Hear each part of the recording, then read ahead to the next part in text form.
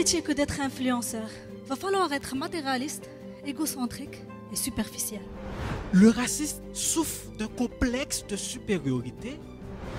Et dans ces romans, où c'est un enfant qui parle, on rencontre une multitude de stéréotypes. Les enfants, parfois, n'ont pas beaucoup de filtres. Pourquoi? Parce qu'ils craignent de sentir mauvais sans s'en apercevoir. C'est comme essayer de manger une pomme avec des clous. On a donc décidé d'aller les interroger, ces super retraités-là, pour connaître le fameux secret de la fontaine de jouvence de la cognition. Pour simplifier, si on s'imaginait que ces vers avaient des cheveux, eh bien, on pourrait le représenter avec une glorieuse cheveux. Mais ne vous inquiétez surtout pas, car je ne suis pas un dealer qui vient aujourd'hui pour vous vendre de la drogue en public, mais plutôt une étudiante à sa troisième année de doctorat et qui a vraiment hâte à vous faire découvrir les merveilles de drogue.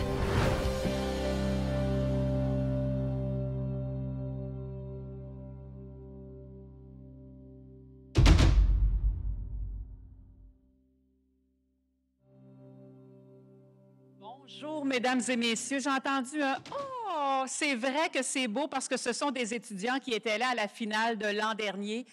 Bonjour tout le monde, je me présente Nancy Sabourin, je suis directrice de Radio-Canada Mauricie et je suis votre animatrice pour ce bel événement encore cette année. C'est vraiment un bonheur de vous retrouver dans cette belle salle, tout intimiste, vraiment. Très, très bon choix encore une fois du comité organisateur. Donc, c'est un deux pour un cette année avec la présentation de deux activités, c'est-à-dire la douzième finale de ma thèse en 180 secondes et la troisième édition dans sa forme actuelle de l'activité Plume et Pretzel. Madame Rachel Lemelin, responsable des événements institutionnels au service des communications et des relations avec les diplômés, va assurer l'animation de l'activité Plume et Pretzel, justement, pour mettre en valeur les ouvrages publiés par les membres de la communauté universitaire. Ça va se passer après la présentation des participants de ma thèse en 180 secondes. Mais avant d'entendre nos chers participants, on va accueillir le recteur de l'UQTR, M. Christian Blanchette. Vous savez, M. Blanchette, c'est un homme de défi. Puis euh, les gens lui ont fait une proposition, c'est-à-dire 120 secondes, M. Blanchette, comme Pretzel, euh, Plume et Pretzel, pour faire votre présentation. Il a accepté. Alors, on part nos chronomètres, on ouvre nos oreilles, mesdames et messieurs. Le recteur, Christian Blanchette.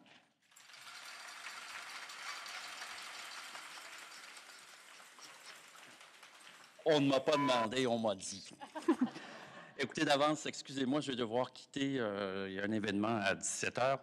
Euh, mais euh, écoutez, félicitations à ceux qui se lancent pour les 3 minutes ou les 120 secondes. Et donc, j'y suis soumis. Les activités de vulgarisation scientifique représentent une fo- fort belle façon d'animer un campus universitaire.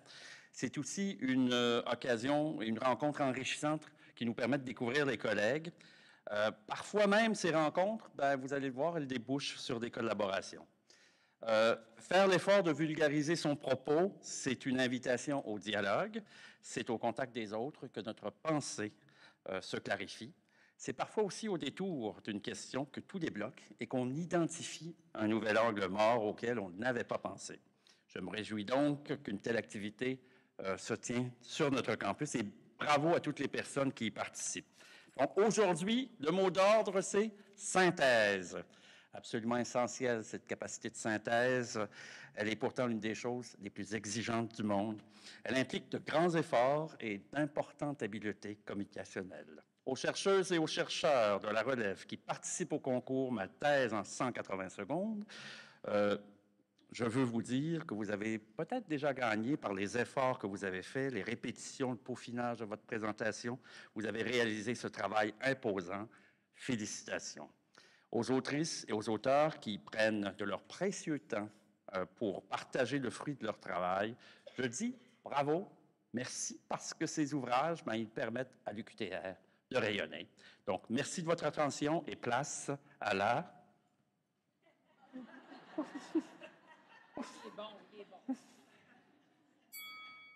recherche. Voilà.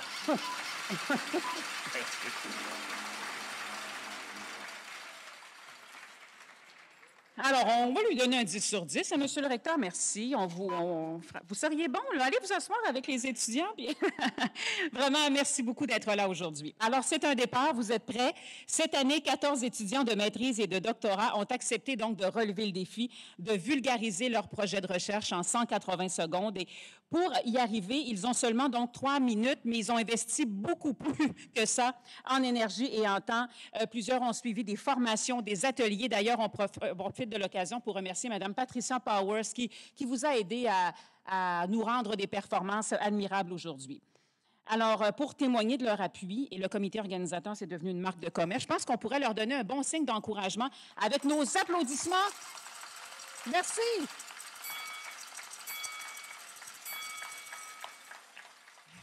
On vous sent prêt. Évidemment, il y a un jury hein, pour euh, évaluer la performance des candidats. Les cinq juges qui sont présents à l'arrière de la salle, permettez-moi de vous les présenter. Je vais leur demander de se lever et on pourra euh, les applaudir à la fin. Alors, euh, le président du jury, M. Adel Omar Daman, doyen au décanat des études. Bon, on va les applaudir tout de suite. Merci, Daman. Madame Julie Maheu, professeure au département de psychologie. Une ancienne lauréate de l'édition de ma thèse en 2018 prend aussi part au jury cette année, donc elle comprend très, très bien dans quel état vous êtes en ce moment. Alexandra Lecourt, professeure au département d'ergothérapie.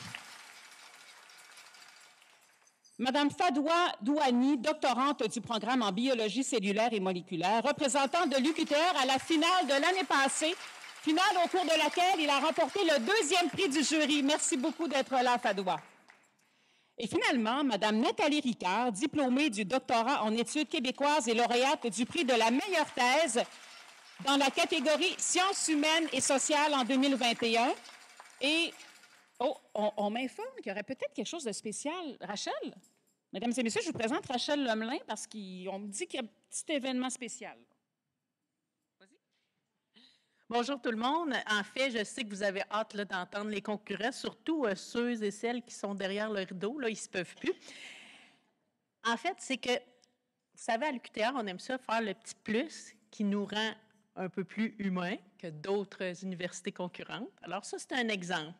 La semaine dernière, quand j'ai pris connaissance de la composition du jury de cette année, j'ai vu une opportunité spéciale. Nous avons, parmi les membres du jury, la lauréate de la médaille d'or académique du, gouverneur général du Canada de l'année universitaire 2020-2021. OK, je le sais, ça fait longtemps, mais dans ces années-là, vous savez, il y a eu une pandémie, il y a beaucoup de choses qui ont foutu le camp. Alors, Madame Ricard, Nathalie Ricard, elle sait qu'elle a gagné la médaille et on lui a remis un certificat lors de la collation des grades de septembre 2021.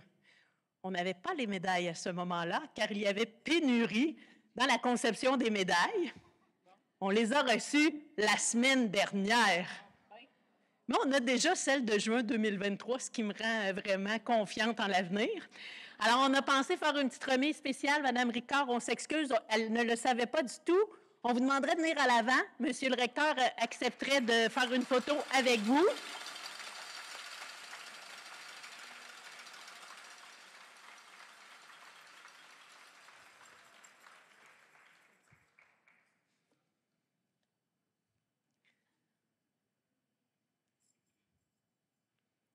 Tellement de choses qui ont été retardées durant la pandémie.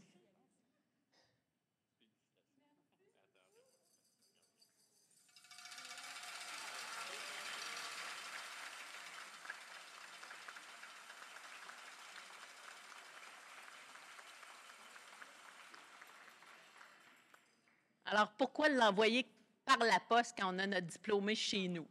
Alors, euh, je laisse la place à Nancy. Alors, on a une jury, euh, un membre du jury peut-être un peu plus de bonne humeur que les autres. Ils le sont tous, mais elle, elle est gonflée à bloc. Alors, je vous rappelle les consignes. Les participants doivent respecter donc des consignes pour leur présentation. Ils ont le droit d'utiliser une seule image non animée. Les accessoires sont interdits. Après trois minutes et une seconde, un klaxon va annoncer la fin. Le candidat doit s'arrêter s'il ne veut pas être disqualifié.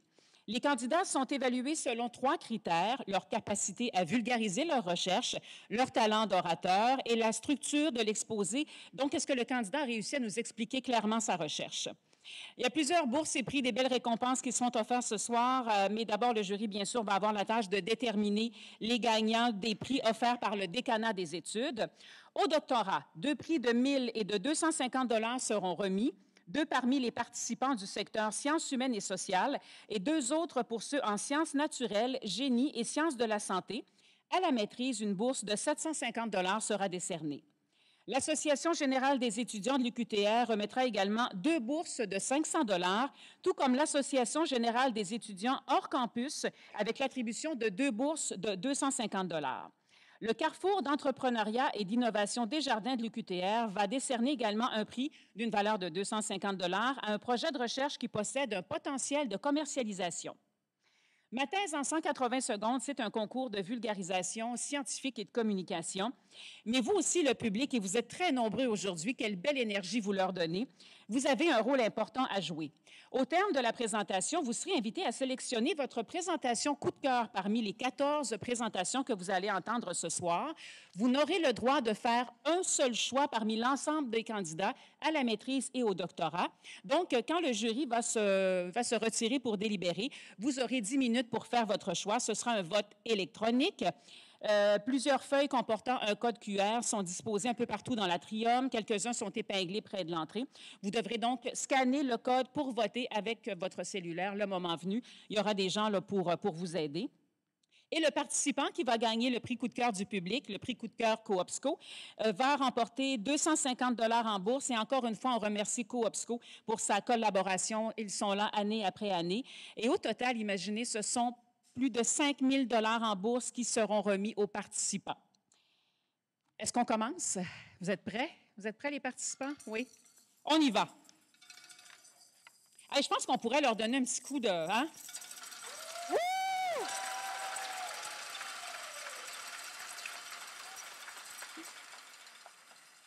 Moi, je vois la première participante de côté, là, elle est comme une fille qui s'en va faire un marathon. On l'a dit, extravertie, dynamique, ça je peux en témoigner déjà, impulsive et créative, cette première candidate se décrit comme une boîte à surprises.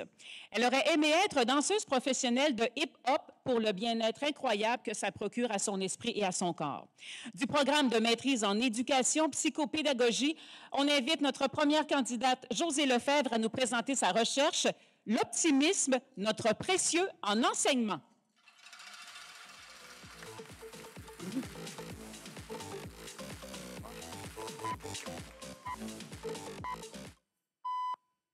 Au Québec, le décrochage scolaire en enseignement nous inquiète. 40% des futurs enseignants quittent les études. 25 à 30% des novices quittent dans les cinq premières années. 20 000 enseignants chaque année sont remplacés. Un enseignant sur cinq serait atteint de détresse psychologique, épuisement professionnel, anxiété, dépression, consommation de psychotropes. Comme cette jeune femme, à main levée, qui voudrait s'engager en enseignement avec autant de cynisme et de mal-être? Moi, et si nous changions notre paire de lunettes en ayant une approche plus humaniste, plus optimiste en enseignement? Pour favoriser le bien-être, la santé mentale et le développement d'une identité professionnelle positive en enseignement, des chercheurs s'intéressent au concept de CICAP, le capital psychologique. Il est d'ailleurs étudié dans divers contextes difficiles et anxiogènes, en entreprise, dans les sports, les milieux euh, militaires, policiers et en santé.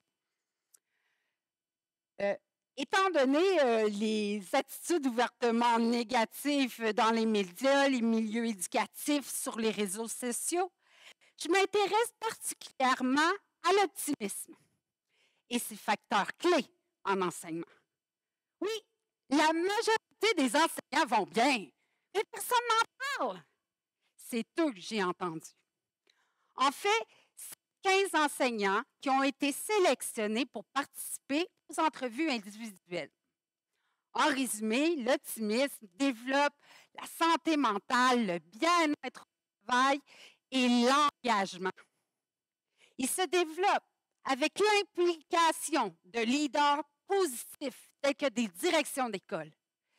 À partir de relations positives avec les collègues, les parents, les élèves avec le soutien de nos dirigeants politiques. Bref, l'optimisme est porteur de sens et gage de bien-être en enseignement à condition qu'il soit bien dosé et valorisé en société. Alors, qu'entendons-nous pour changer notre paire de lunettes? Merci. Merci beaucoup, José.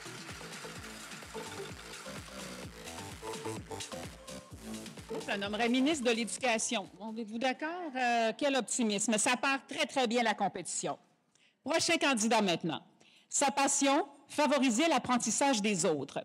Ça explique sans doute pourquoi il souhaitait devenir un professeur reconnu notamment pour ses publications dans les revues scientifiques. Il ambitionne toujours d'être une référence dans le domaine des voitures autonomes. Du programme de doctorat en ingénierie concentration génie mécanique, écoutons Jonathan Boisclair nous présenter sa recherche, la vision pour les voitures. Jonathan.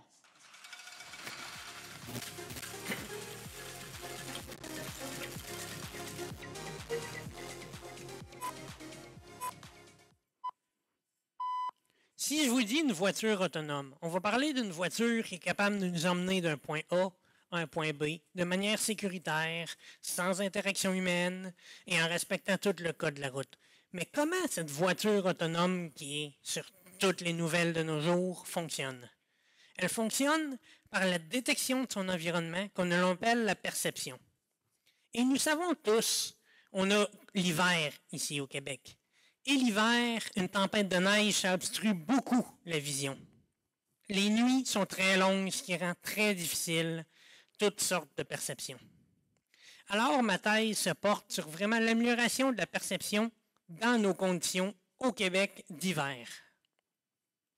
Dans cet ordre d'idée, il faut qu'un ordinateur apprenne à détecter tous les éléments de la route, tels que les lignes au sol, les panneaux de circulation, les autres voitures, les piétons, afin de pouvoir effectuer sa conduite autonome de manière sécuritaire. Pour ce faire, nous lui donnons des millions et des millions d'images. Cependant, nous savons qu'en hiver, c'est seulement quelques mois, c'est seulement dans quelques pays, donc c'est très rare. Comment pouvons-nous valoriser au mieux ces quelques informations que nous avons? J'ai suivi le regard de plusieurs humains afin de de connaître les éléments les plus importants des images afin de les valoriser et d'être capable, avec moins d'images, de faire plus. Dans un deuxième temps, c'était le temps d'aller à la nuit. La nuit, on peut toujours prendre un système de vision nocturne tel que l'on voit à toutes les lunettes de vision nocturne. Mais ces lunettes-là, c'est très basse résolution. Reconnaître un objet à longue distance, c'est très difficile. Donc, j'ai pris une image qu'on a la chaleur des objets provenant de ces lunettes-là, avec une image d'une caméra standard. J'ai mêlé les deux ensemble pour détecter dans toutes les conditions. Mais c'est bien beau ajouter des capteurs pour avoir des meilleures détections. Mais plus de capteurs, plus de consommation électrique. Les, autonomies des voitures, autant électriques qu'au gaz, seront diminuées puisque la consommation d'essence augmenterait avec plus de capteurs en été, est-ce que c'est vraiment nécessaire d'avoir une vision de nuit en plein jour lorsqu'il fait soleil? Pas vraiment.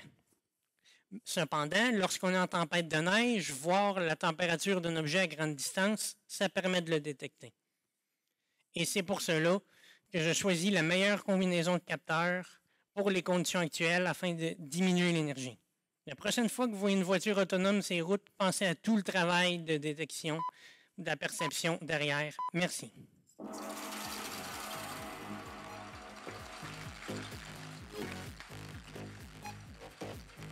À la seconde près. Merci, Jonathan.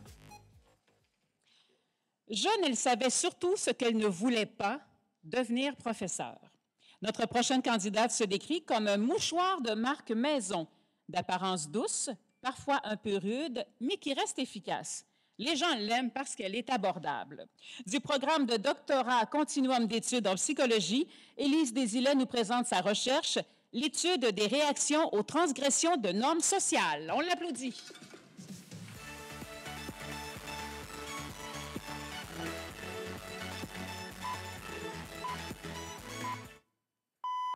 Pour mieux vous imprégner dans mon projet de recherche, je vous invite à vous fermer les yeux. Vous imaginez, vous êtes un étudiant, une étudiante universitaire, vous entrez dans une salle de classe, puis tout d'un coup, vous voyez quelqu'un sur un bureau habillé en lion en train de faire Vous pouvez ouvrir les yeux. Comment réagiriez-vous? Quelle élite vous représente le mieux? C'est le genre de questions que je me pose dans le cadre de ma thèse parce que j'étudie les réactions aux transgressions de normes sociales. Les normes sociales, c'est les attentes qu'on a envers les comportements des autres. Par exemple, dans une salle de classe, on va s'attendre à ce que les gens soient assis sur une chaise ou encore euh, aujourd'hui, à la fin de chaque présentation, on s'attend à ce que vous, public de feu, nous applaudissiez chaleureusement. Les transgressions de normes sociales, c'est lorsque ces attentes-là ne sont pas respectées. Par exemple, quelqu'un qui se prend pour un lion dans une salle de classe. Ou si à la fin de ma présentation, au lieu de m'applaudir, il y a certaines personnes qui se mettent à danser comme ça. Quand on est témoin de transgression de normes sociales, il faut faire un choix entre réagir ou ne pas réagir. Dans le cas des transgressions de normes sociales, les réactions vont être considérées comme une tentative d'envoyer un signal aux gens autour de nous pour leur dire que la norme n'a pas été respectée. Donc, que ce soit en potinant avec vos amis sur la personne qui se prend pour un lion, ou encore en confrontant votre voisin pour lui dire d'arrêter de danser puis d'applaudir, réagir aux transgressions de normes sociales nous permet de, euh, de dire notre norme aux autres personnes autour de nous afin qu'elles soient respectées dans le futur. Avec ma recherche, j'essaie de savoir si les gens préfèrent réagir ou ne pas réagir lorsqu'ils sont témoins de transgressions de normes sociales. Mais je veux aussi savoir si les réactions des autres peuvent influencer nos propres réactions. Jusqu'à maintenant, mes résultats montrent que la majorité des gens, dans la majorité des cas, préfèrent ne pas réagir aux transgressions de normes sociales. Par contre, s'ils voient que d'autres personnes réagissent, ben, ils avoir tendance à les imiter et réagir plus eux aussi. Personnellement, je trouve ces résultats-là quand même encourageants. Donc, de savoir que les, réagir aux transgressions de normes sociales euh, nous permet de s'assurer le maintien des normes dans une société, Mieux comprendre les réactions aux transgressions de normes sociales pourrait nous permettre éventuellement de bâtir des interventions dans la société plus efficaces pour s'assurer la survie et le maintien de certaines normes sociales très importantes, comme par exemple l'entraide, la coopération, l'ouverture d'esprit, mais aussi de s'assurer du maintien de certaines normes qui sont simplement réconfortantes, comme les applaudissements à la fin d'une présentation. Merci de votre écoute.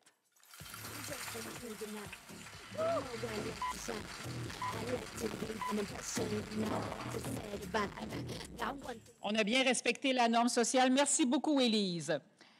Amateur de génétique et de musique classique, notre prochain participant a toujours voulu être un scientifique. D'ailleurs, il adorait le laboratoire de Dexter et Jimmy Neutron. Espérant que ce soir, il parvienne à vulgariser sa recherche à la hauteur de ses aspirations. Du programme de doctorat en biologie cellulaire et moléculaire, Alexandre Clouet nous présente sa recherche Le cancer du verre. Alexandre.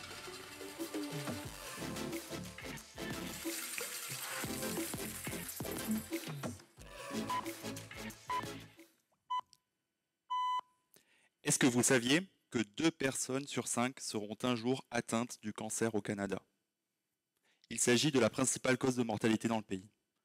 Pour comprendre le développement d'un cancer, je vous invite à monter sur votre vélo. La vitesse à laquelle vous pédalez correspond à la production de nouvelles cellules. Au cours de votre balade, vous vous retrouvez sur une grande descente. Vous allez très vite, produisez énormément de cellules et devant vous, vous apercevez un ravin. D'urgence, et pour éviter la chute, vous essayez d'appuyer sur les freins, mais ces derniers ont disparu. La production d'un trop grand nombre de cellules vous a précipité vers la formation d'une tumeur. Les freins, qui sont présents au niveau de notre organisme, ont donc un rôle protecteur, car ils permettent à notre organisme d'empêcher la formation excessive de nouvelles cellules. L'objectif de ma thèse, c'est d'identifier ces freins qui sont détruits dans les cellules cancéreuses. Pourtant, le génome humain est compliqué. Il est constitué de 23 paires de chromosomes et il est porteur d'un grand nombre d'informations sous la forme de gènes. La couleur de nos yeux, nos cheveux, notre taille, notre groupe sanguin ou encore ses freins. Trouver leur position revient donc à chercher une aiguille dans une botte de foin. C'est pourquoi j'ai fait appel à un petit verre microscopique pour m'aider dans mes recherches. Il est constitué de seulement 6 paires de chromosomes et de manière intéressante, ces freins fonctionnent de la même manière que chez l'être humain. Je les ai trempés dans un produit chimique et je les ai alignés en haut de la pente. Puis, je les ai lancés vers le ravin. L'un d'entre eux était incapable de s'arrêter et développait une tumeur. Je l'ai récupéré, j'ai analysé son ADN et j'ai obtenu une liste de 250 modifications et l'une d'entre elles avait détruit les freins. Mais laquelle? Pour répondre à cette question, j'ai repris un verre normal que j'ai mis en haut de la pente et cette fois-ci, j'ai reproduit uniquement la première des 250 modifications. Et j'ai lancé mon verre. Il était capable de s'arrêter. J'ai continué de reproduire les modifications une par une jusqu'à identifier celle qui détruit les freins. Cette modification, elle touche le gène TIR1 et c'était le, le, frein que je cherchais.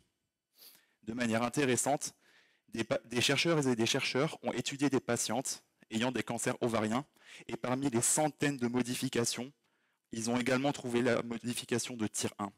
J'ai donc espoir qu'en ayant trouvé son rôle de frein en utilisant le petit verre, on puisse mieux prendre en charge ces patientes et éviter le développement et la progression de la maladie.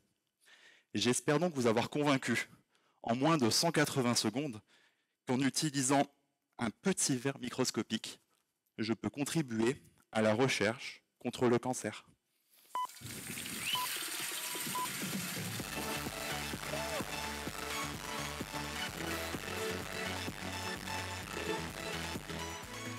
Merci beaucoup, Alexandre. Notre prochain participant se compare à Philippides, un messager grec envoyé à Athènes pour annoncer la victoire de son armée. Après avoir couru des kilomètres et à bout de force, Philippides se serait effondré au cri de Nous avons vaincu. Du programme du doctorat en génie électrique, Andrés Torres Velasquez nous présente sa recherche La science du cyclisme, le pédalage efficace. Andrés.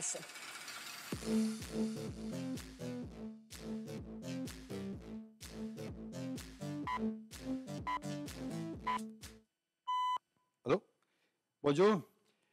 Euh, merci beaucoup pour être ici. Je suis très content. Aujourd'hui, je vais parler sur le cyclisme aussi, mais je viens de Colombie. Tu connais bien qu'en Colombie, nous avons beaucoup de champions et aussi nous avons un joli paysage pour faire le vélo. Et pour ça, j'adore le cyclisme, j'adore le vélo et toute la science qu'il y a dans le cyclisme. Mais j'ai une question pour vous. Est-ce que vous avez pensé quand tu fais vélo, par exemple ici à Trois-Rivières ou à la part la, la Maurice, si vous pédalez bien ou pas? Comment savoir ça, si vous pédalez bien? Bon, il y a un numéro qui s'appelle l'indice d'efficacité c'est un numéro que c'est un numéro qui vient de la force efficace. Ce numéro c'est très important pour le cyclisme. Si je pense de où vient ce numéro, je pense qu'il vient de tous les mouvements de la jambes euh, au moment que le pied applique sa force sur le pédale. Il y a plusieurs forces. Le plus important, c'est la force effective. Mais aussi, il y a plusieurs muscles qui travaille dans un seul moment pour produire ces forces. C'est tout les environ 50 muscles. C'est beaucoup. Mais le problème est comment faire pour bien appliquer la force dans les pédales. C'est vraiment un problème. Je dois acheter, par exemple, un pédale très, très cher. Je n'ai pas l'argent vraiment. Je vais faire l'Ironman de cette année de Mont Blanc et je voudrais savoir qu'est-ce mon efficacité. Et je fais ça, mais comment faire ça sans l'utilisation de les pédales? Il y a une solution. Ajouter à l'intelligence artificielle. Et avec l'intelligence artificielle, je peux faire la prédiction de l'indice d'efficacité en moyen de toutes les données qu'il y a dans le mouvement de Maziams. C'est vraiment une manière très économique pour faire les mêmes trucs, mais aussi je peux faire la prédiction de l'activité musculaire avec des modèles d'intelligence artificielle. Qu'est-ce que mon rêve Mon rêve est, eh, par exemple, d'intégrer cette intelligence artificielle dans, les, par exemple, un microcompteur qu'il y a dans le vélo et aussi eh, aider les cyclistes pour savoir quelle son efficacité à le même temps qu'il fait le, le, cyclisme, fait le vélo, et aussi aider les entraîneurs pour savoir les si faire bien ou pas l'indice d'efficacité. Merci beaucoup. Au revoir.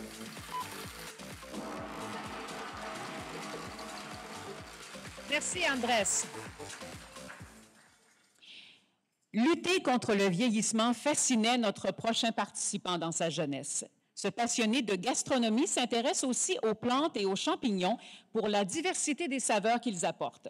Du programme de doctorat continuum d'études en psychologie, Théo Devez nous présente sa recherche Comment la génétique du cannabis influence la composition de son microbiote. Théo.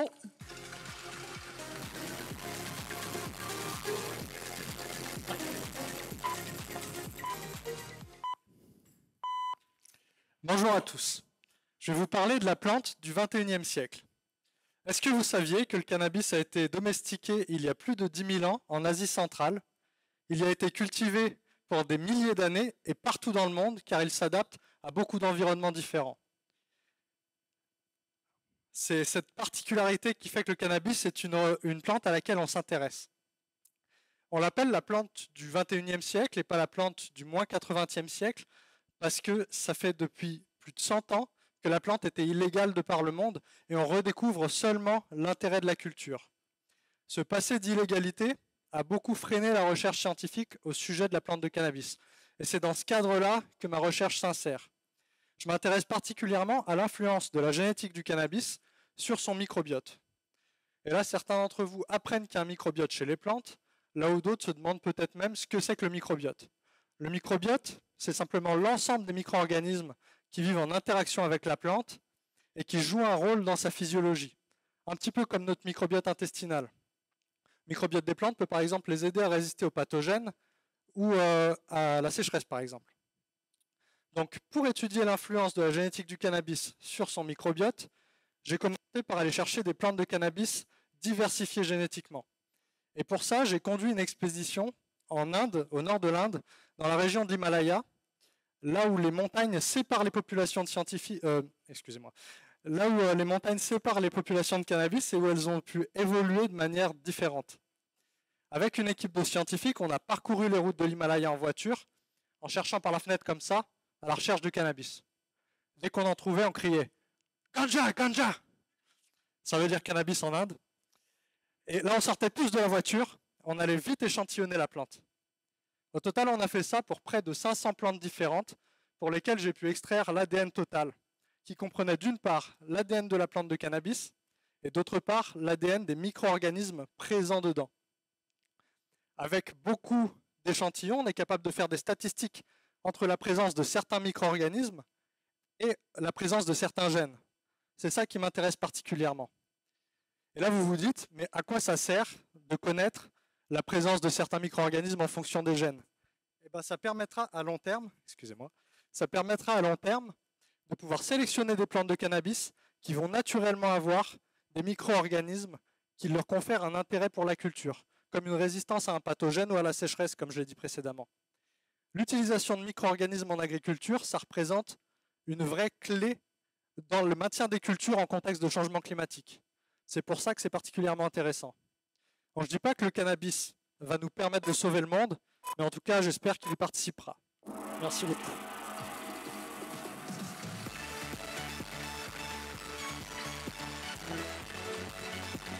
Merci Léo. Notre prochaine candidate affirme Je suis une grimpeuse. Je sais lâcher une prise pour aller en chercher une autre. Je m'accroche à ce qui est essentiel pour ne pas tomber. Mes pas sont orientés vers mes objectifs. Et même si souvent je tombe, je préfère tomber plutôt que d'arrêter de grimper. Une fois atteint, je redescends, puis je prépare ma prochaine ascension. C'est une grande sage du programme de doctorat continuum d'études en psychologie. Laurie Borel nous présente sa recherche, la participation sociale comme clé pour vivre la retraite en bonne santé cognitive. Laurie.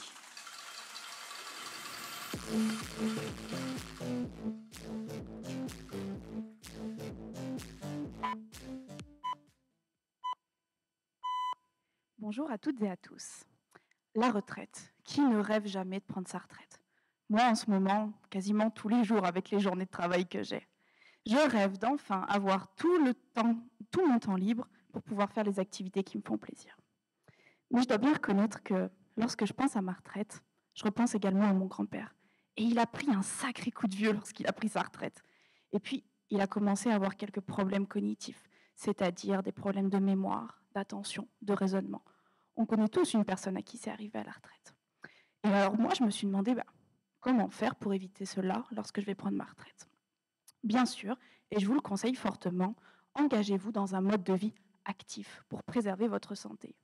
Ayez une pratique d'activité physique régulière, mangez sainement, évitez les excès. Ça m'a rien de vous le dire. Honnêtement, on n'est pas mieux chez nous à boire une bière dans notre salon plutôt que de se lever tous les matins à 6 heures pour aller transpirer au gym. Moi, personnellement, je préfère les excès.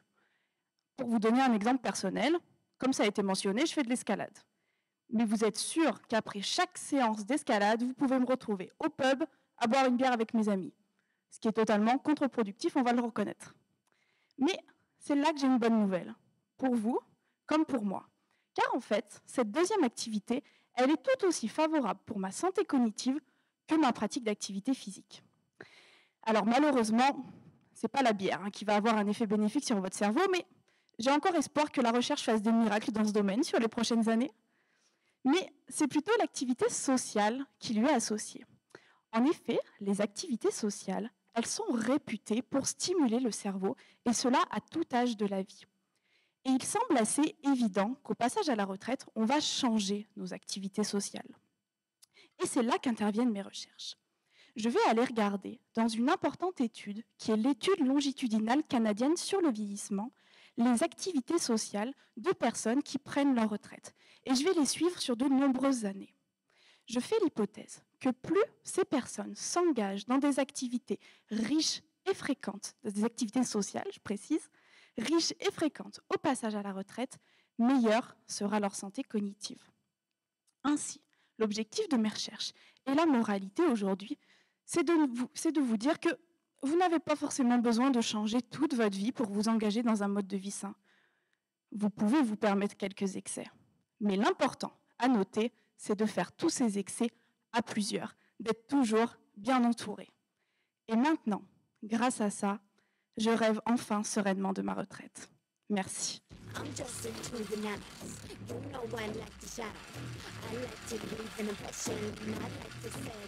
Merci Laurie. Moi j'ai pris des notes. Là. La bière, cochée, parfait.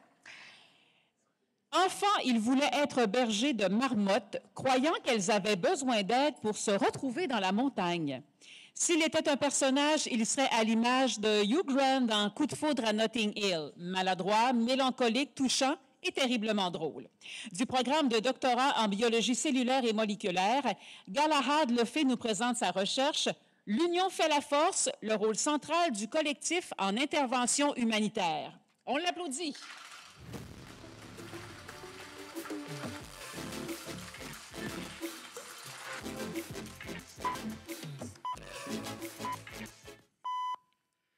Imaginez, vous venez d'être recruté sur un projet d'aide humanitaire internationale. Vous allez devoir mettre en place un plan de vaccination dans une contrée reculée du globe. Vous arrivez dans un pays lointain, beaucoup de choses sont différentes et vos repères sont tout ébranlés. Même certaines actions que vous pensiez maîtriser à la perfection sont soudainement d'une complexité incroyable. Mon sujet de thèse s'intéresse à ça. Comment y font les travailleurs humanitaires pour adapter leurs pratiques à des contextes nouveaux. Pour de une, se maintenir en vie et en santé, et de deux, faire en sorte que ça marche.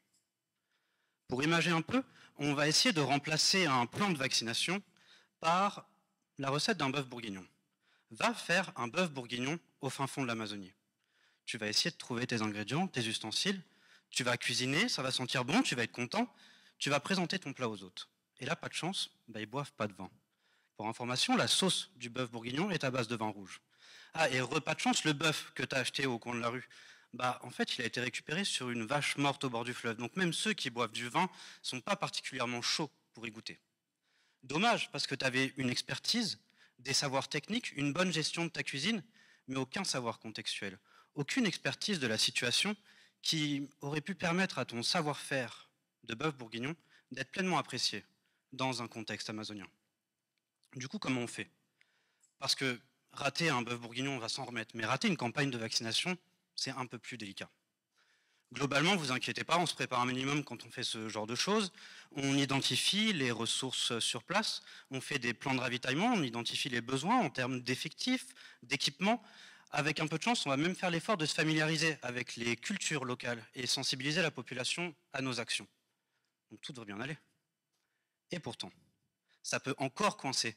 Et les travailleurs vont devoir faire preuve de résilience pour essayer d'adapter et de réduire l'écart qu'il y a entre ce qu'on avait imaginé à la base et ce que eux, ils vont vivre dans leur quotidien.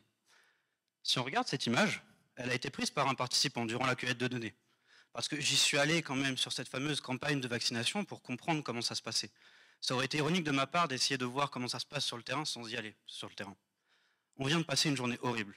Tout ce qu'on avait planifié, tout ce qu'on avait organisé, ça n'avait pas fonctionné. Et pourtant, à la fin, nos travailleurs, ils sont satisfaits et on a réussi à atteindre nos objectifs de vaccination. Tout ça pour dire que si vous décidez d'aller faire un bœuf bourguignon au fin fond de l'Amazonie, même si vous êtes le meilleur cuisinier du monde, essayez d'adapter un peu vos pratiques et d'accepter l'aide de ceux qui savent comment ça se passe sur place. Et peut-être qu'ensemble, vous arriverez à faire le meilleur bœuf bourguignon de toute l'Amazonie. Merci.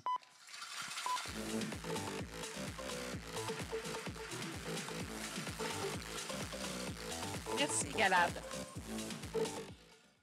À 12 ans, notre prochaine participante voulait être physicienne. Selon elle, c'est ce qui fait tourner le monde, puisque tout ce qu'on utilise est issu de la physique. Femme de conviction, ambitieuse, elle ne craint pas l'inconnu ni de sortir de sa zone de confort. Du programme de doctorat en sciences de l'énergie et des matériaux, Francia Ravalisson Soloa Rivello nous présente sa recherche Sauver le monde du réchauffement climatique, pourquoi pas avec l'hydrogène?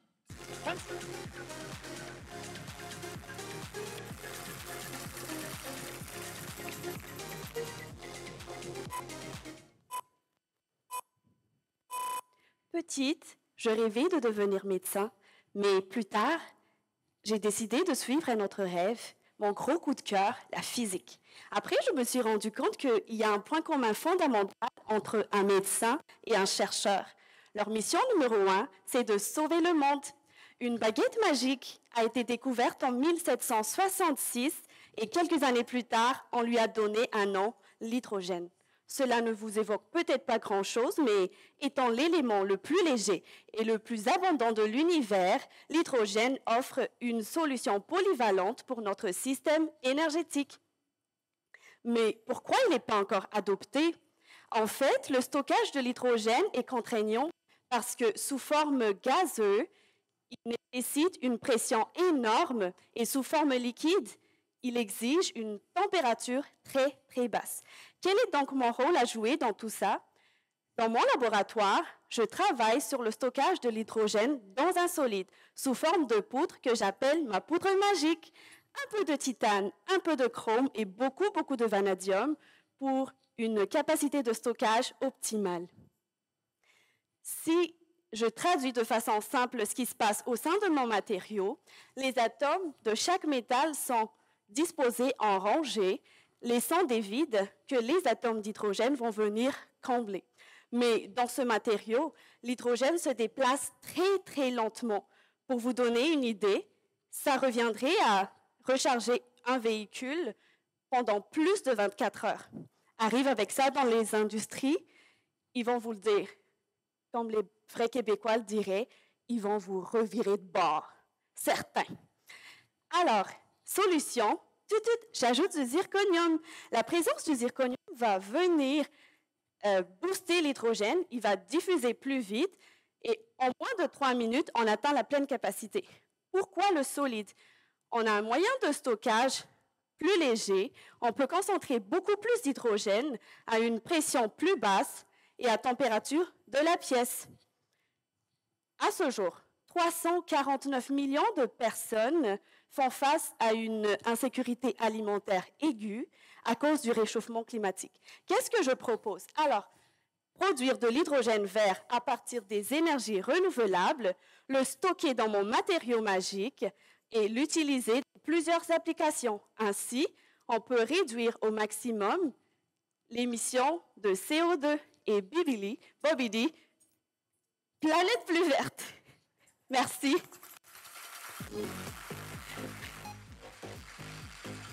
Merci, Francia.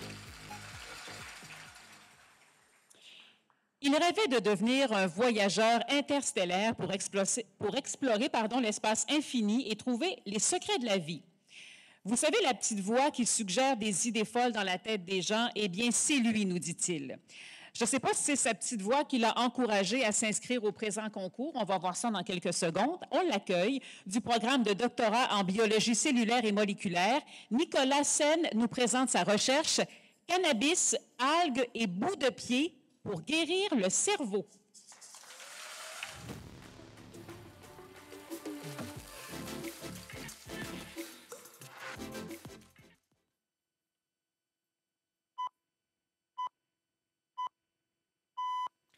Bonjour à toutes et à tous.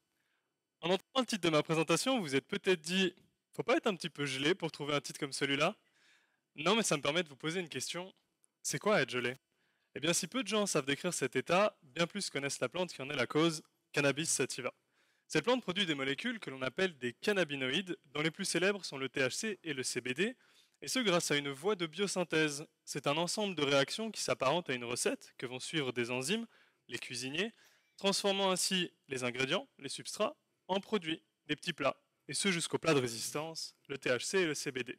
Ces molécules vont ensuite interagir avec le système nerveux, nous menant à des situations où on finit par se demander pourquoi est-ce qu'on a laissé nos clés d'auto dans le frigo. Ce qui est moins connu, c'est que ces molécules sont aussi étudiées pour leur potentiel thérapeutique, et notamment dans la lutte contre des maladies neurodégénératives comme Parkinson et Alzheimer. Et là, vous dites peut-être, mais attends, est-ce que ça veut dire que si je fume beaucoup, je pourrais être immunisé? Eh bien, peut-être. Le problème, c'est qu'il n'existe pas deux, mais plus d'une centaine de cannabinoïdes et qu'ils possèdent tous une structure très similaire. Ce qui fait qu'ils sont difficiles à extraire et à isoler, étape indispensable dans la synthèse d'un médicament.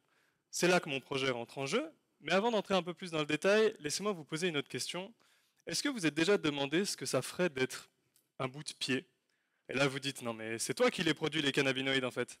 Alors non, mais ça me permet de vous parler d'un autre organisme, Dictyostelium discoideum.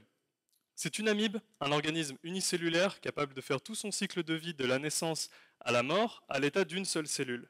Mais il s'avère que quand cet organisme ou une population pardon, euh, entre dans un état de famine, elles peuvent s'agglutiner et former une limace qui va ensuite aller chercher à manger et qui va finir par se différencier en cette structure qui ressemble un petit peu à un champignon. Du coup, une cellule autonome peut finir par ne devenir qu'un bout de pied, un bout de tige ou un bout de tête. Mais alors quel rapport avec les cannabinoïdes?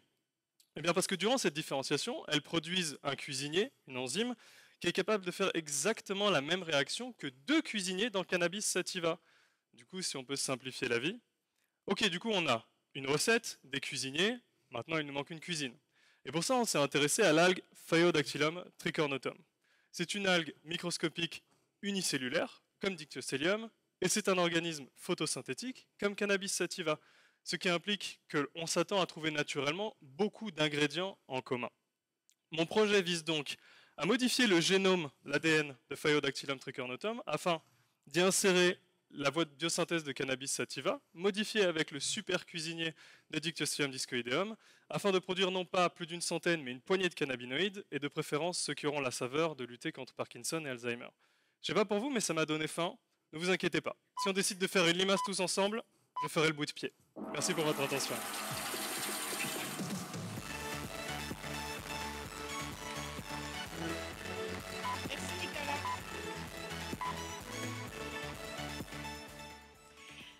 Prochaine participante. Cette fanatique du monde de Disney est une véritable boule d'énergie. Elle aime être toujours occupée. Ski, randonnée, escalade, patin, volleyball. Elle admire le chanteur Harry Styles pour ses convictions puisqu'il sort des stéréotypes typiques pour présenter une autre conception de la masculinité.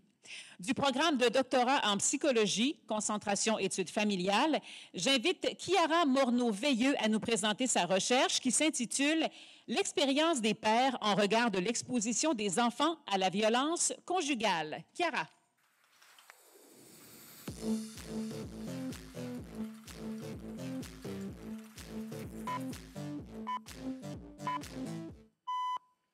Alors, bonjour tout le monde. Un fait intéressant à savoir sur moi, le fait que je suis une intervenante féministe auprès des mères et des enfants victimes de violences conjugales.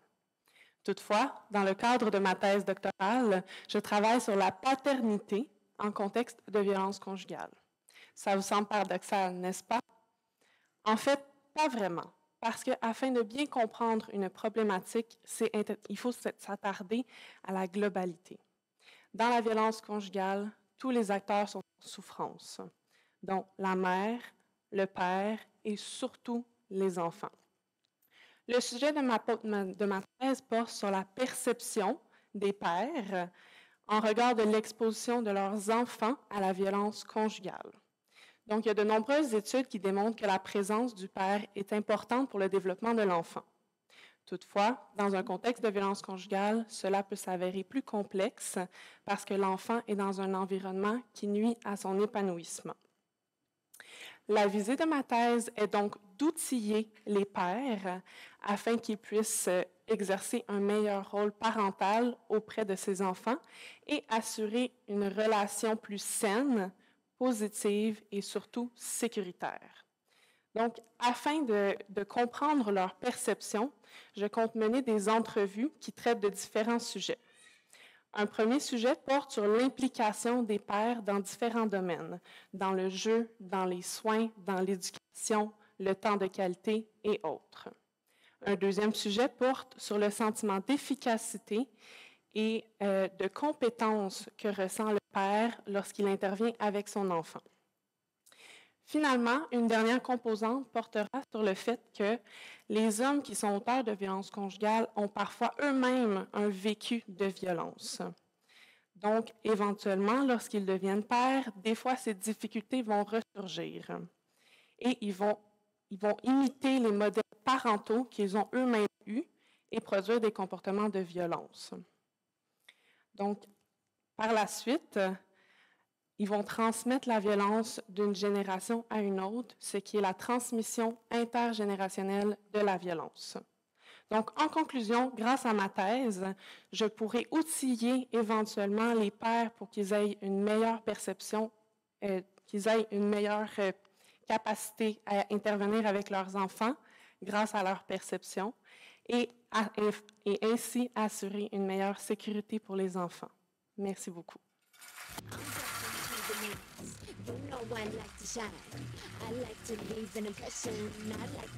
Merci, Chiara. Médecin vétérinaire de formation, notre prochaine participante adore cuisiner et se déclare amoureuse des chats. Il lui arrive parfois de regretter son attachement à son petit confort, comme plusieurs d'entre nous. C'est probablement son côté imprévisible qui lui a fait prendre la décision de participer à la finale ma en 180 secondes.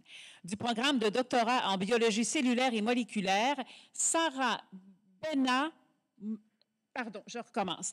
Sarah Bena Mouda a nous présenté sa recherche le syndrome d'ORS, la fameuse protéine TBC1D24 qui dysfonctionne. On l'accueille.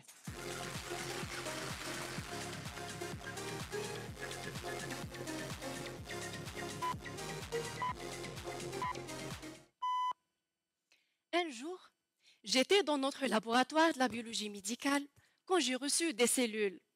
Malheureusement, ces cellules étaient si faibles et fatiguées alors, je leur ai demandé de me raconter leur histoire. Les cellules m'ont répondu, nous ne sommes pas des cellules normales. Nous venons des corps des patients atteints d'une maladie génétique appelée le syndrome d'Urs. Et c'est une maladie rare, orpheline, qui touche environ 50 personnes dans le monde. Personnellement, C'était la première fois que j'entendais parler de cette maladie. Est-ce votre cas aussi? Je pense que oui. Alors, j'ai demandé aux cellules de m'expliquer davantage. Les cellules dit, les principaux symptômes de la maladie sont regroupés dans l'acronyme 12, dont D pour défnesse ou surdité, O onychodystrophie pour une malformation des ongles, O ostéodystrophie pour l'absence des phalanges distales, que ce soit des mains ou des pieds, R pour un retard mental, et enfin S pour scissors ou les convulsions.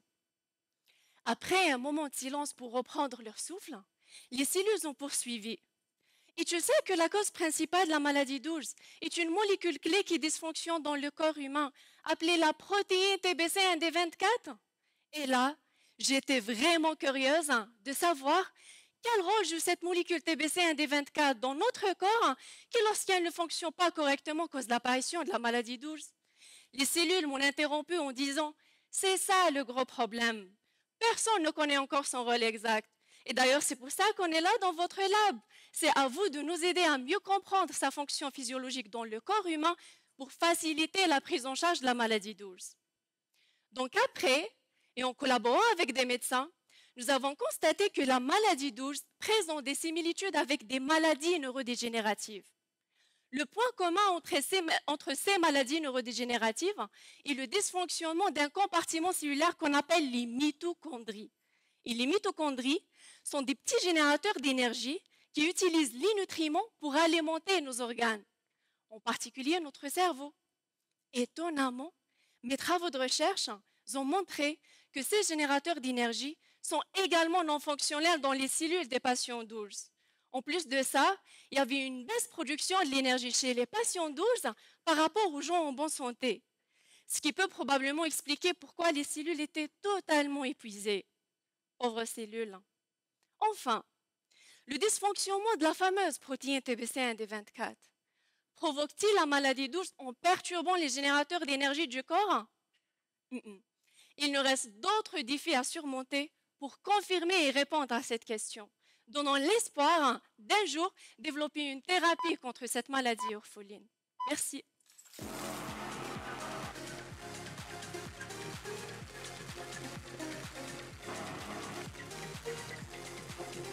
Merci, Sarah. Notre prochain participant possédait des figurines de chevaliers dans sa jeunesse. Il idéalisait ses guerriers. S'il a voulu devenir pompier, c'est qu'il considérait comme des chevaliers modernes. Il se décrit comme un bricoleur de projet, un cosmodo du loisir, un jongleur de l'imprévu et un alpiniste sympathique. Du programme de doctorat en loisirs, culture et tourisme, Jocelyn Garneau nous présente sa recherche Comprendre les relations qui se développent entre les personnes qui pratiquent régulièrement un loisir ensemble. Jocelyn, à toi.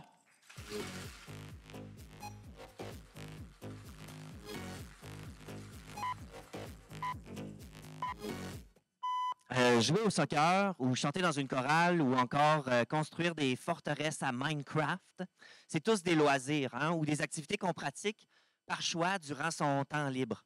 Moi, mon loisir public, c'est l'improvisation théâtrale. Il y en a qui connaissent sûrement. J'adore ça, l'impro. Je pratique ça plusieurs fois par semaine et c'est aussi grâce à l'impro que j'ai pu rencontrer toutes les personnes qui sont significatives euh, dans ma vie en ce moment. Et mon projet de thèse, il s'inspire directement de mon expérience avec mon loisir. Euh, ma recherche, elle a deux objectifs. Le premier, c'est de comprendre la nature des relations qui se développent entre les personnes qui pratiquent régulièrement euh, un, loisir ensemble.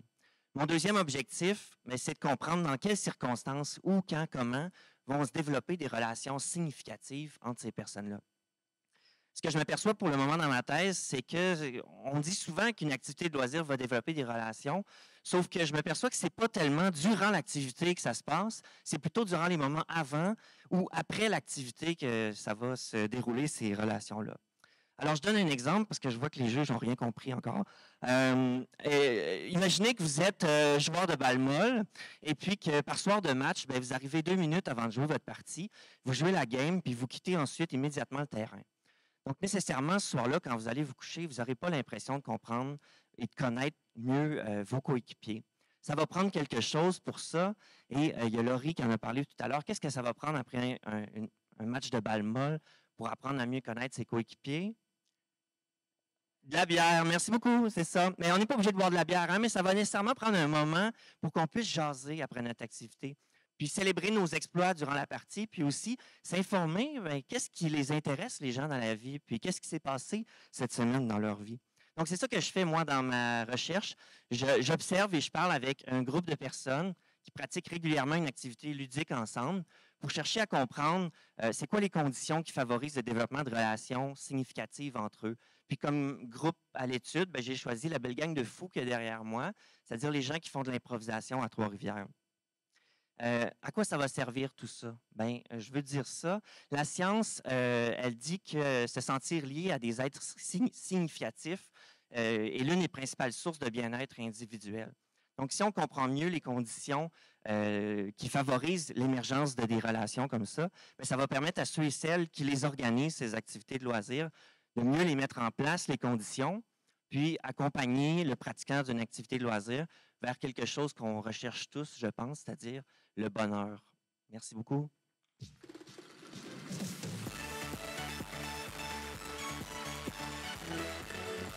Merci beaucoup, Jocelyn. Ça passe vite, c'est déjà la dernière participante. Une dernière qui admire les gens qui contribuent à la société tout en demeurant authentiques, honnêtes et vulnérables, un peu à l'image de Roméo Dallaire, défenseur de la paix. Curieuse, elle aime apprendre et s'intéresse à plusieurs projets à la fois, c'est ce qui explique qu'elle a environ 10 livres ouverts en même temps à la maison. Du programme de doctorat en psychologie, on reçoit Andréane Angerne qui nous présente sa recherche. Comment la personnalité et le genre influencent-ils la résilience des policiers et policières au Québec? Andréane, c'est à toi.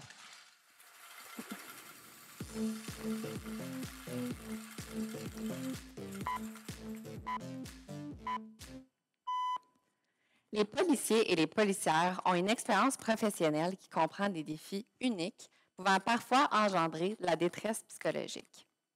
Les études nous démontrent aussi que les femmes policières peuvent faire face à une réalité qui est particulièrement difficile, en partie en raison de leur genre. Et donc, pour ces raisons, les chercheurs tentent de créer des programmes de résilience afin de mieux soutenir le bien-être euh, psychologique des policiers et des policières.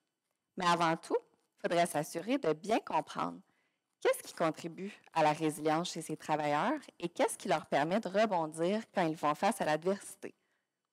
Si je questionnais un des policiers sur la photo et que hum, je tentais de comprendre qu'est-ce qui favorise ou encore qu'est-ce qui nuit à sa capacité de résilience, qu'est-ce qui me répondrait? Et si je questionnais une femme policière, est-ce que ses réponses seraient différentes?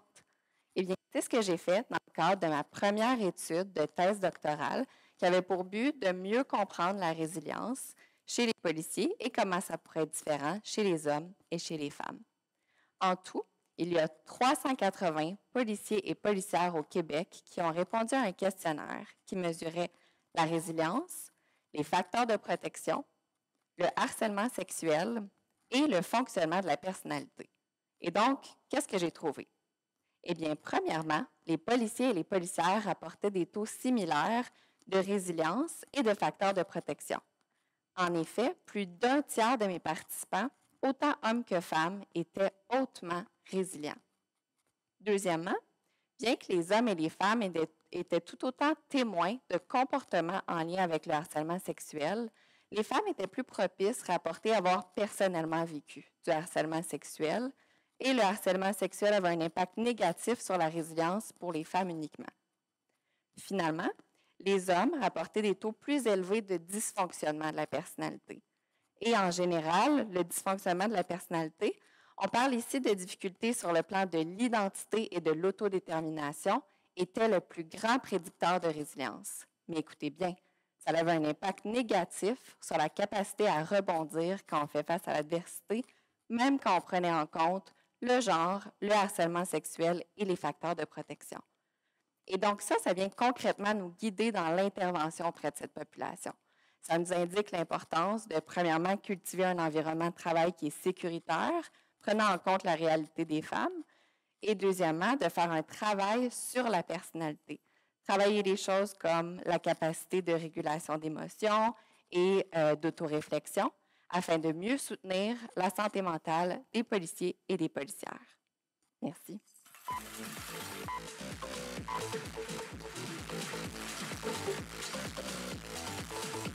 Merci, Andréane. Alors, c'est la finale, c'est la fin de la finale euh, de ma thèse en 180 secondes. Je pense qu'on pourrait donner une grosse main d'applaudissement pour nos 14 participants d'aujourd'hui.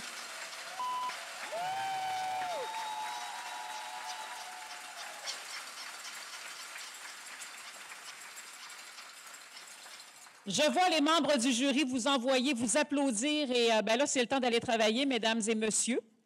Euh, leur tâche ne sera pas facile. On a eu vraiment euh, une cuvée très relevée encore cette année. On vous laisse aller travailler, puis j'espère que ça va bien aller. On a bien hâte de voir vos résultats. Bonne délibération, chers amis. Et là, je vous laisse un 10 minutes. vous savez que vous avez 10 minutes pour faire votre, votre choix pour le prix Coup de cœur Coopsco. Alors, je vous rappelle que vous avez un code QR. Vous devez le scanner. Il y en a d'ailleurs sur des tables un peu partout. Si vous avez euh, du mal, il y a des gens qui pourront vous aider. Je vous rappelle que vous avez droit à un seul participant, un seul lauréat, et le prix coup de cœur vous sera dévoilé un peu plus tard euh, dans la soirée. Alors, on, on ça? Alors, le prix offert par le Carrefour Entrepreneuriat Innovation de l'UQTR nous invitons Madame, euh, Maxime Montmini, pardon, conseiller à l'entrepreneuriat, à venir à l'avant pour la remise de la bourse. Bourse de 250 dollars. Alors, voici le gagnant pour ce prix du programme de doctorat en biologie cellulaire et moléculaire, Nicolas Sen.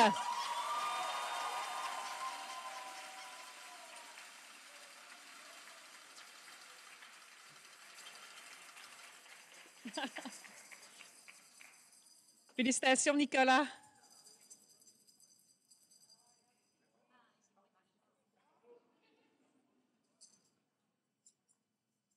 C'est parti, merci.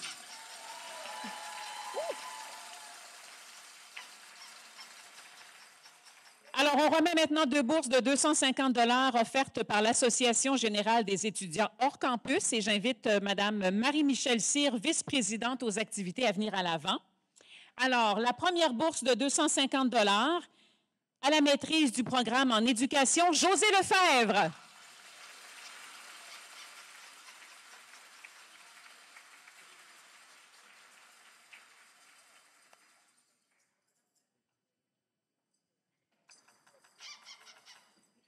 C'est bon? Oui, c'est bon.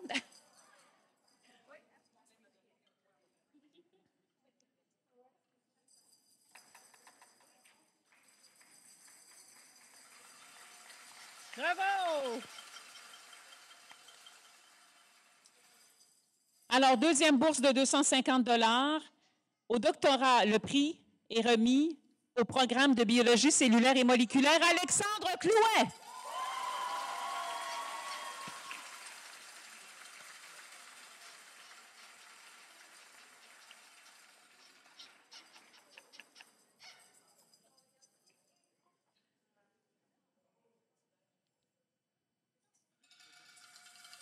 Félicitations, Alexandre. Alors, lauréat maintenant de deux bourses d'une valeur de 500 dollars chacune offertes par l'Association générale des étudiants de l'UQTR et j'invite Mme Nesrine Boussadoun, vice-présidente aux affaires académiques des cycles supérieurs.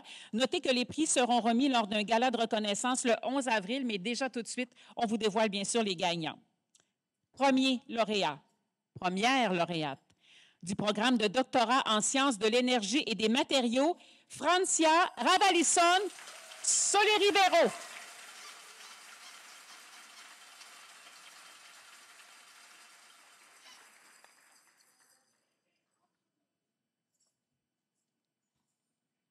Bourse de 500 dollars. Félicitations. Deuxième lauréate du programme de doctorat en biologie cellulaire et moléculaire, Sarah Benab Mouda.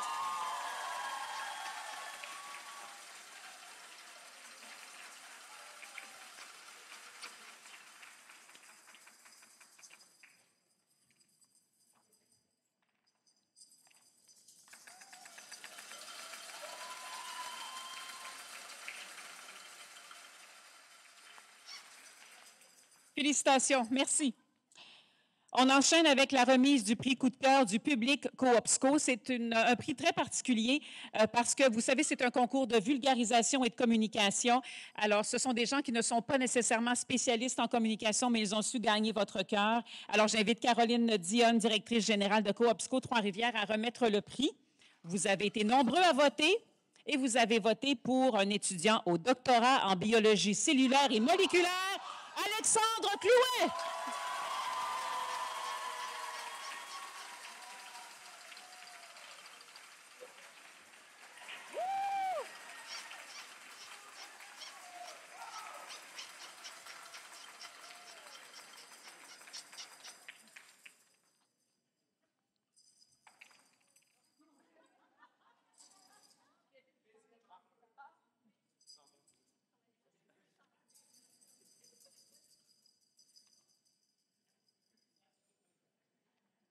Félicitations, Alexandre.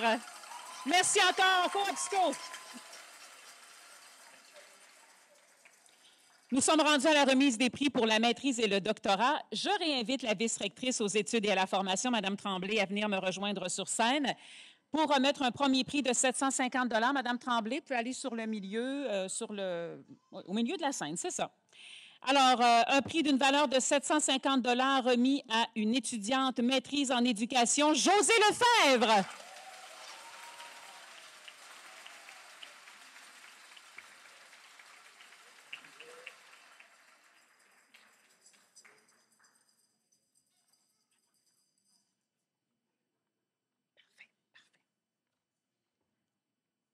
Voulez-vous dire un petit mot tout de suite? Alors, on va demander Mme Tremblay de venir nous dire un petit mot parce que c'est un concours qui est important pour elle et pour le département. Alors, je vous laisse euh, la parole. Merci, Madame. Oui, c'est important pour nous tous et nous toutes.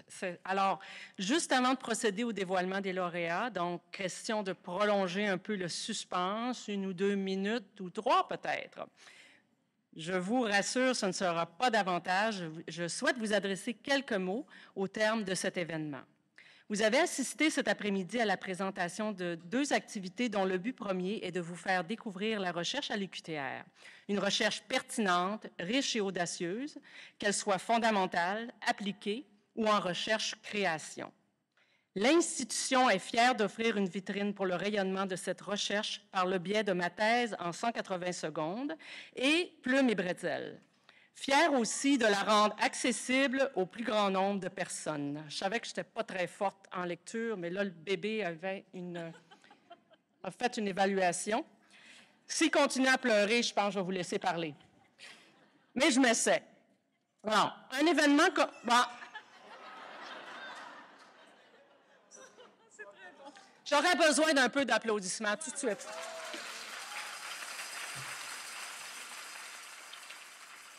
Question d'enterrer le bébé. Alors, un événement comme euh, celui auquel nous avons assisté sous-tend une organisation dynamique, vous vous en doutez bien. Il me sera permis de remercier les partenaires COPSO, l'Association générale des étudiants de l'UQTR, l'Associ- l'Association générale des étudiants hors campus. Euh, merci également au service des technologies de l'information au service de la gestion des infrastructures et des actifs immobiliers, sans qui la présentation de cet événement ne sera pas possible ou ne serait pas possible. Un merci chaleureux également aux membres du jury qui ont eu la difficile tâche de sélectionner les lauréats. Aussi, je tiens à formuler des remerciements personnels à toute l'équipe du décanat des études, responsable de l'organisation de l'activité Ma thèse en 180 secondes. Oui.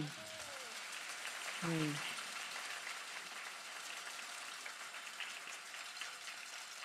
M'en vient Rachel. Ainsi qu'à celle des services des communications et des relations avec les diplômés responsables de Plume et Bretzel.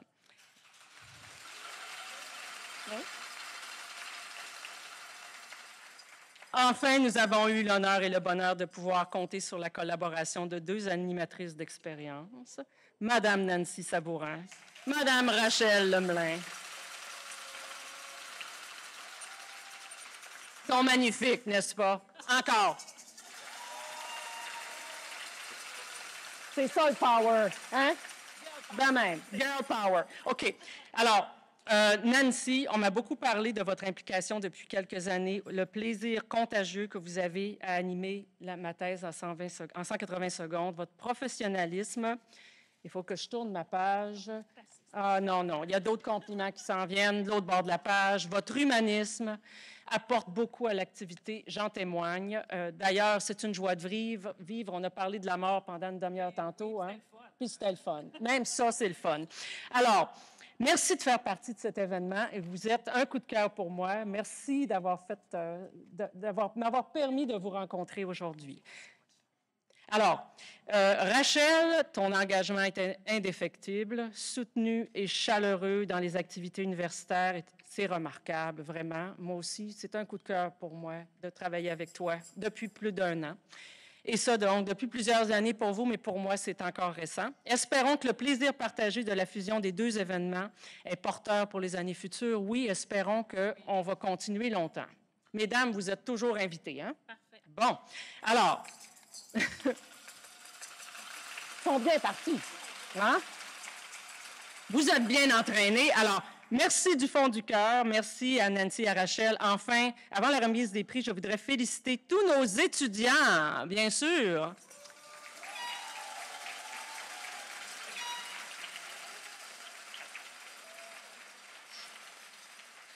Alors, nous voulons vous redire notre fierté de pouvoir compter sur une relève impliquée et ouverte sur le monde. Félicitations.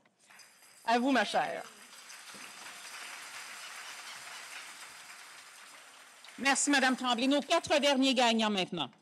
On vous rappelle qu'au doctorat, quatre prix seront remis, deux grands prix de 1000 dollars chacun et deux prix de 250 dollars selon l'appartenance de sujet de recherche à un des deux secteurs, soit sciences humaines et sociales et sciences naturelles, génie et santé.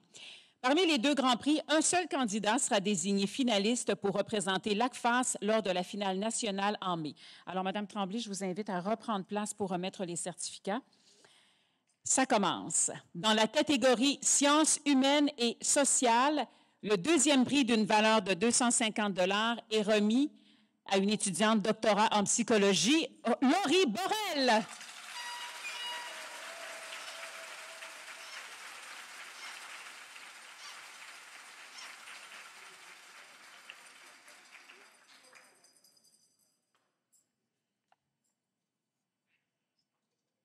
Félicitations, Laurie. Merci beaucoup pour ton engagement.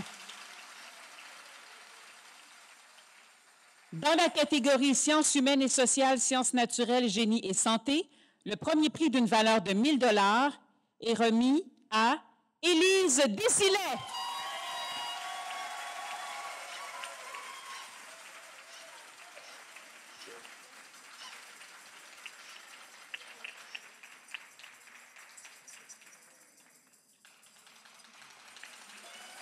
Bravo, Élise.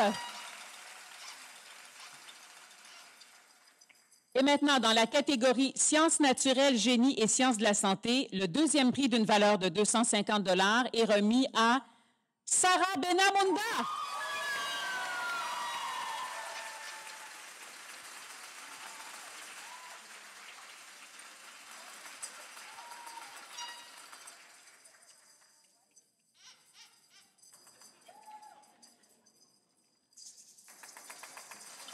Félicitations, Sarah. Bravo. Et finalement, le grand gagnant de l'édition 2023, il représentera l'UQTR à LACFAS. Il mérite ce soir une bourse de 1000 dollars pour la qualité de sa présentation. Et je vais vous donner l'indice suprême. Tour du chapeau. Le gagnant, Alexandre Clouet.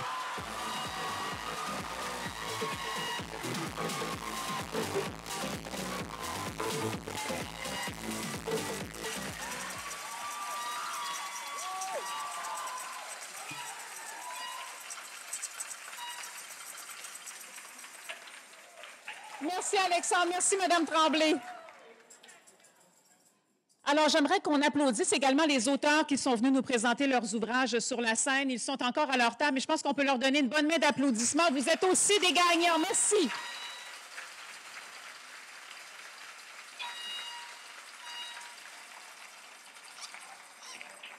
À mon tour de dire un petit mot, un grand merci au comité organisateur qui fait que tout ça est agréable, stimulant. Je pense, euh, vous êtes très près des participants et on voit de grands sourires ce soir et le comité organisateur y est pour quelque chose. La soirée n'est pas terminée. Vous avez un petit billet pour un mocktail et des boissons non alcoolisées qui seront euh, à l'arrière. Euh, vous avez également, euh, qu'est-ce que je voulais dire? Qu'est-ce que je dois dire là? Restez avec nous parce qu'il faut célébrer. Et il faudrait l'an prochain vraiment que vous soyez à la 13e et ce sera un chiffre chanceux final. Cette année, on a eu vraiment une année exceptionnelle. J'espère que vous êtes fiers de vous tous et toutes parce que nous le sommes. Et je pense qu'on peut se laisser pour une dernière main d'applaudissements pour nos 14 participants de la deuxième finale.